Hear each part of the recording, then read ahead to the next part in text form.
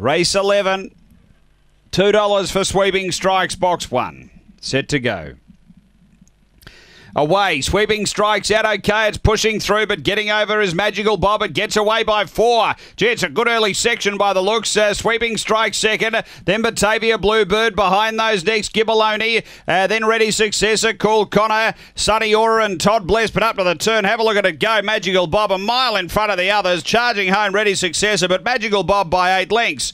Second Ready Successor, third Sweeping Strikes. Behind those came Gibbaloni from Sunny Aura. Uh, Cool Connor Batavia Bluebird and Todd Bless. The time here is 22 and 38. So it was a 985 first section there.